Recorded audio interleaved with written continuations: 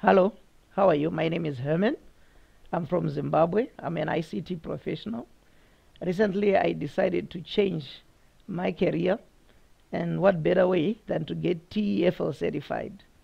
And out there, I decided to do it with one of the best, if not the best. And so I was trained by ITTT and did the 120 hour certificate.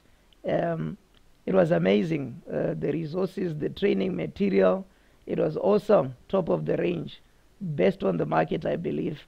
And the rates were totally amazing. Um, I wouldn't hesitate when I decide to further my education in this particular field to do it with ITTT again, and I won't hesitate to recommend them. Try them, look them up.